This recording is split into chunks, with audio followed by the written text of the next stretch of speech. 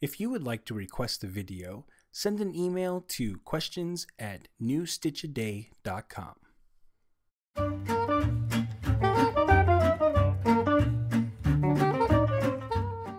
How to knit the wavy lace pattern.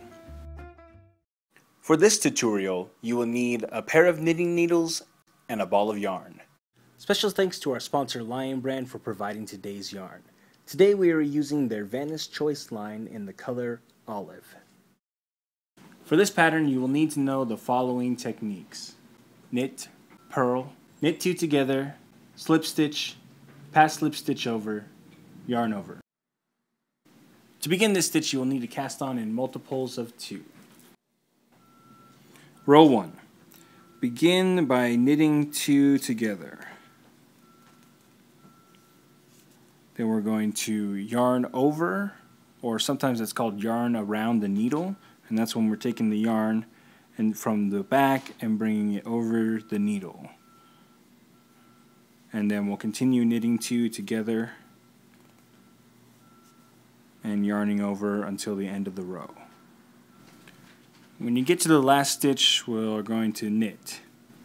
Row 2, we're going to slip the first stitch purlwise.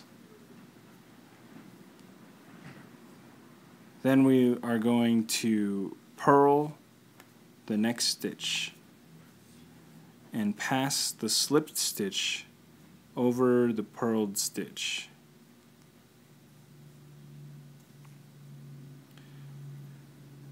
Next we're going to yarn over and then we'll begin our re repeat by slipping the next stitch purlwise, purling the next stitch, slip, pass the slip stitch over the purled stitch and then yarn over. So repeat that until the end of the row. When you reach the last stitch, we're going to purl one.